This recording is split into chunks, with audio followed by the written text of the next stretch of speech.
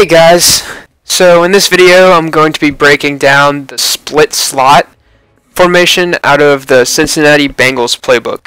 So, a few reasons why I decided on this formation out of the playbook.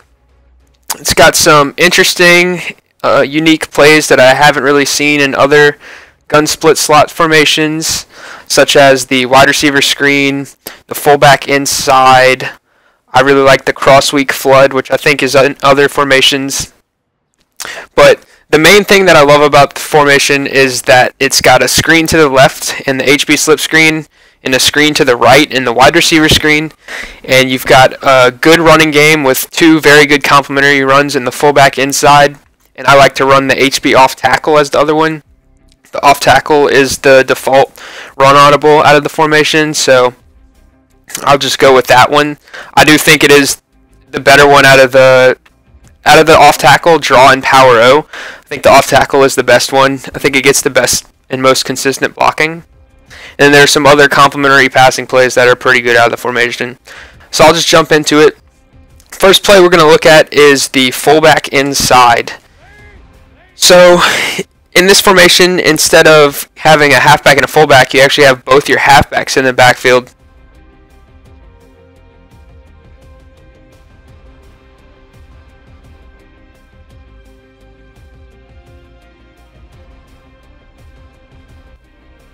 And you'll see when I run the play, it's not so much as it looks like a draw almost, but it's more of like an inside zone slash outside zone. It's kind of weird. You have like the option to whether you want to run it up inside or take it outside. So you'll see right there. I kind of tried to cut it up, got four yards, but you could see that when I took the handoff, it was like I had the option rather to whether or not I wanted to cut it up inside or run outside. Usually if it's an inside zone, it like forces you to the inside more so. If it's outside zone, it'll make you go to the outside so that you don't really have the opportunity to cut it up very well. But in this case, you really have the option to do whatever you want. Right there, they sent a corner blitz off the edge, which got me in the backfield. Run it again right there. And it's really just a solid run play that you can come out in and establish and make your opponent respect um, that can get you consistent yards if they don't have players over there on that side of the line of scrimmage. If they do start moving players, shifting their line that way or moving their linebackers that way, the down run audible is a great compliment. It's an off tackle play to the other side. And it gets pretty good blocking right there. You kind of got a block shed and I kind of ran into him. That's just me being bad. Go ahead and run it again for you guys. And right there, that was pretty good blocking, and that's kind of the alignment you want to run it against whenever there either aren't that many people over there or if they're moving people to accommodate for the fullback inside if you've been hitting them with that. Or you could even start out with this run, make them respect this run, and then hit them with the fullback inside going the other way. Doesn't really matter. It's really personal preference.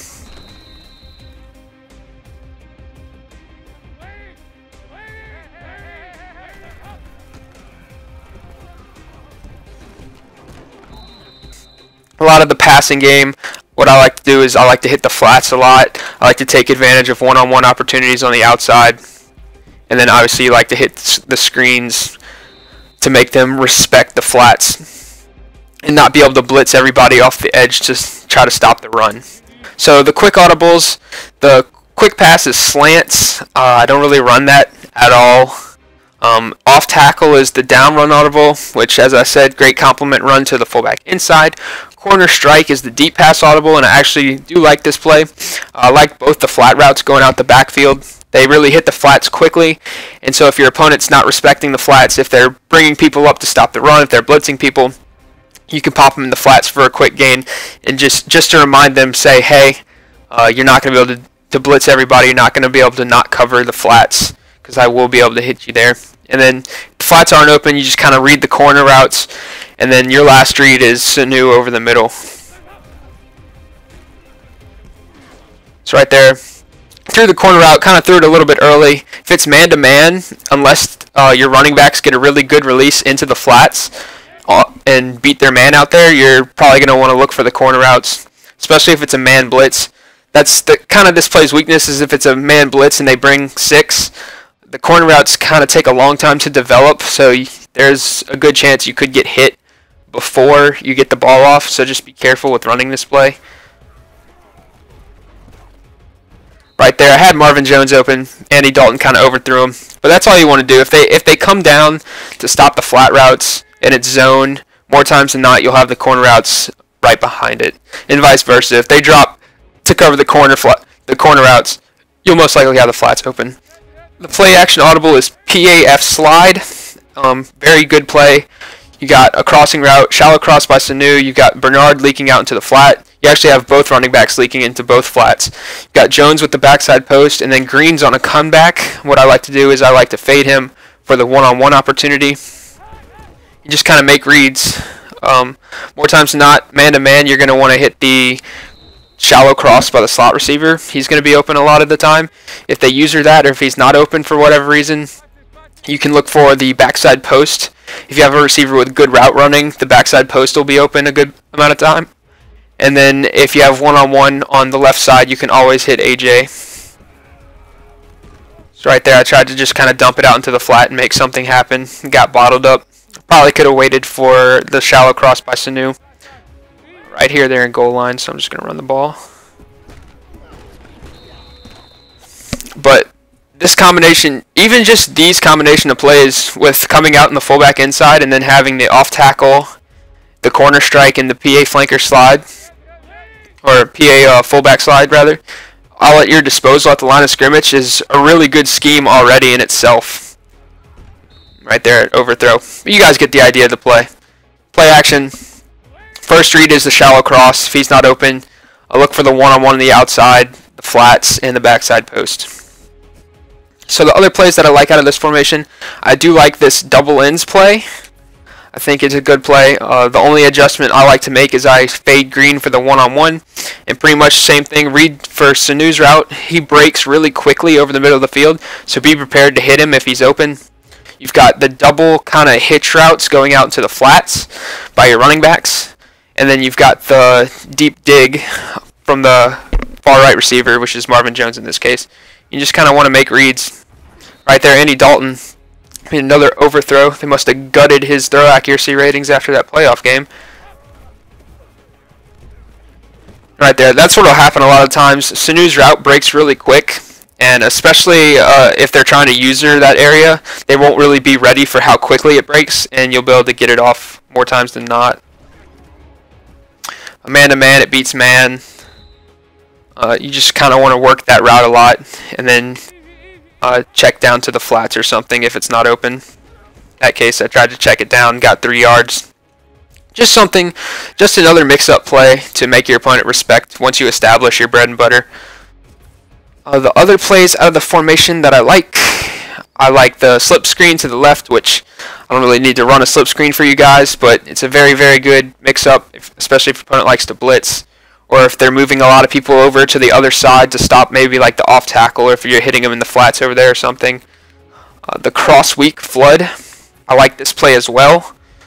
Uh, pretty much same thing, just fade AJ Green. You've got the deep cross by Sanu, the backside post by Jones. You got both flat routes. Uh, just kind of making your opponent respect a lot of different areas of the field. That was a terrible read. I was kind of talking and not paying attention to what the defense was doing there. But uh, yeah, just want to make your opponent respect a lot of different areas of the field, as well as having to respect the pretty good run game at the same time, and just make life difficult for them. Right there, I got hit as I threw. I was trying to hit Sanu over the middle. Try it one more time. Eh. Dump it out into flats. I was kind of feeling the pressure there. But yeah, just another good mix-up play. This is the case for a lot of these plays have like crossing routes going from right to left, and then you want the isolated receiver on the left. In this case, AJ Green. And I believe the final play that I really like out of this formation is the wide receiver screen. Yes, the wide receiver screen. And at first glance, uh, the play art actually has the running back Gio Bernard in this case at the play call screen, it has him running out and blocking, and I thought that I was like, oh god, this is going to be an awesome play, three blockers, but in actuality, Bernard just kind of blocks in the middle and doesn't go out there and block, so you only get two blockers out there. which isn't terrible, but not great. And then after running the play a few times, I noticed that the right tackle a lot of times will get caught up and he won't even get out there to block in time. So more times than not, you'll only end up with one blocker out there, which I really don't like at all. So what I did to compensate for that, I pretty much turned it into a halfback like swing screen. So what I'll do is I'll swing Bernard out to the left, or to the right rather, and then put Jones on a fade, and just kind of run it like that. Try to get a block, try to get upfield. Not as effective as the slip screen to the left, but it's just something to make your opponent think about if they're not if they're not respecting the flats over there or something if they're not uh, if they don't have a lot of players lined up over there you think it'll be effective if they're blitzing somebody off that edge? And you you key in on that just like that play right there. The computer brought a blitz off the right edge and Bernard was able to slip right by, behind him. The biggest problem I find whenever I run this play is sometimes you'll get run down from behind if you throw the ball too quickly. You really have to kind of wait and let that defensive end or whoever's on that right side kind of rush the quarterback before you throw it so that you don't get hawked down from behind. So just keep that in mind when you run it. But this is a great complement to the halfback slip screen and just really complements the formation really well because it allows you to attack uh, pretty much every area of the field. You've got to run to the right, you've got to run to the left, You've got to run up the middle with the fullback inside. You've got a screen right, a screen left. You've got good plays that can attack the flats like corner strike. You've got good plays like uh, PAF slide that attack the middle of the field with crossing routes and posts that can also get you one-on-one -on, -one on the outside with your big mismatch receivers. So it's just a formation that I found attacks pretty much every area of the field and makes your opponent have to pretty much pick and choose what they want to cover on each down, and it turns into a giant chess match. Pretty much like I think he's gonna throw a screen right here, but then if you maybe run the ball the other way, you get a huge gain. So it's just something that opens up a lot of mind games, something that can be very effective if you have good play calling. So yeah, guys, I hope this helps you out. Um, I hope you guys liked it if you run the Bengals playbook, maybe if you didn't run this formation before, maybe you can look into running it. If you have a custom, you can maybe look into adding this into your scheme if you liked it, if you think it'll be effective, which I hope you did. So yeah, guys, uh, best of luck online, guys, and until next time, I'll see you guys later.